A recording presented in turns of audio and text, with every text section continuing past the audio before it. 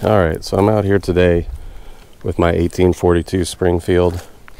I'm going to do a little bit of uh, target shooting. You see a target out there. Uh, this is relatively eh, about 25 yards. Um, I've shot traditional cartridges like this one out of it. Um, this one here is a buck and ball, but I did shoot uh, single lead ball cartridges and I got really good grouping, but it was low and to the right. And of course, with these cartridges, you know, the balls is incredibly undersized, you know, to make for ease of reloading, especially in a battle scenario. But I'm trying to get more accuracy out of uh, out of this gun today. So I'm going to do a patch and ball setup, and um, I'll be using, believe it's a .66 lead ball there it is. You know nothing special. You got a little bit of sprue on top. But um i want to see i want to see what we can get out of this thing. And i know i'm probably making some traditionalist cringe right now but hey if i can make it more accurate my goal is to to get a deer with it.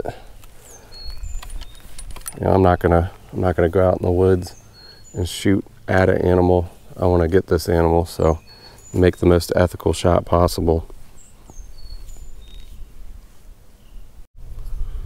All right, so got my little powder measure. I got it set to uh, 80 grains. See what we can do with that.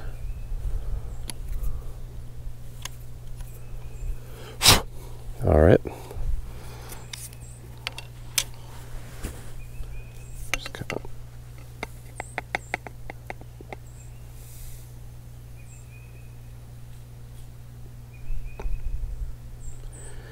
You know, in shooting this gun in the past, I feel like it really liked the the 80 grain charge.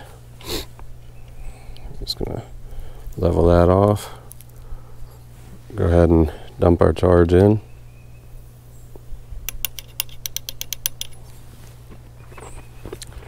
We already got a, a lubed up patch here. Put that right on top. This is where the traditionalists get pissed at me. We're gonna go ahead and put our sprue, our sprue up, just like that. Yep. We're gonna go ahead and send this bad boy home, and hopefully get a decent, decently accurate shot out of it.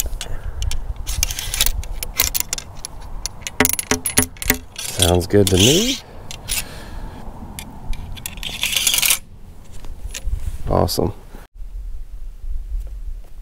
Of course, I'm not using a shooting bench. I'm shooting offhand because there are no shooting benches in the tree stand.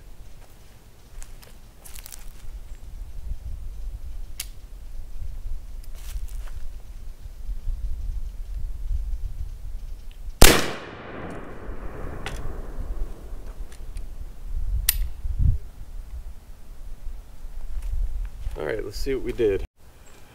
All right, so pretty good shot, 25 yards. A little high, maybe a little to the right, but I mean, freehand 25 yards, that's a vast improvement over the cartridges. Um, I'm definitely impressed, and of course, the power behind this thing. Uh, actually, it actually knocked this this whole maple log straight back. Um, but we'll go ahead and take a few more shots. Um, see if I can't pull it in towards the middle. But right now, yeah, for hunting purposes, definitely going to do patch and ball.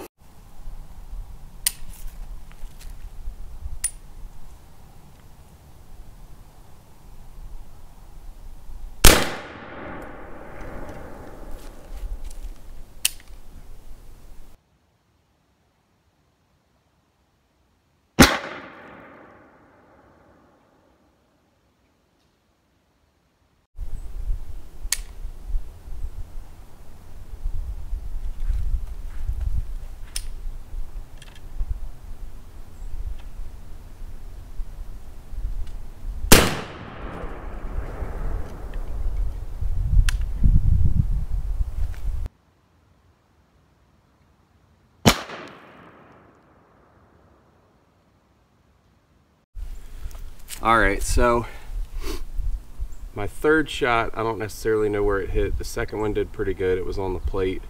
I feel pretty good at 25 yards with that. Um, but I'm getting fouling in between shots that I'm not cleaning. Um, I don't have the uh, the jag yet for this size barrel.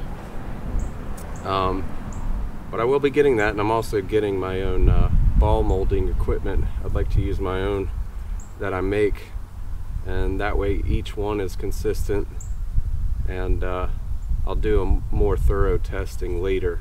But in the meantime, got this buck and ball cartridge. Uh, we'll go ahead and shoot the target, see what it does. I think it'll be fun.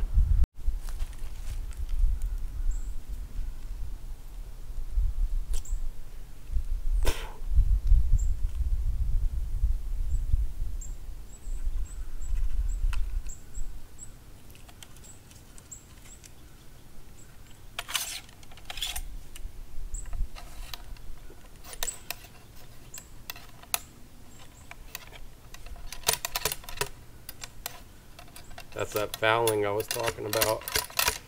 But this should shoot pretty good here.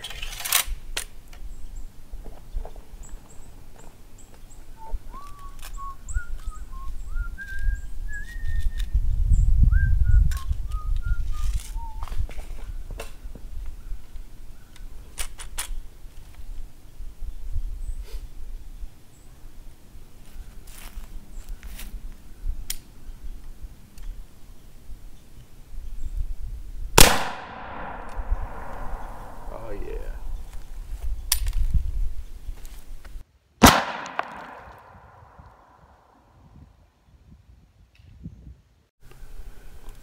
All right, so upon closer inspection, that was my first shot. Second shot, and I almost, yeah, I did. I doubled up on that shot. So my third shot was actually in there.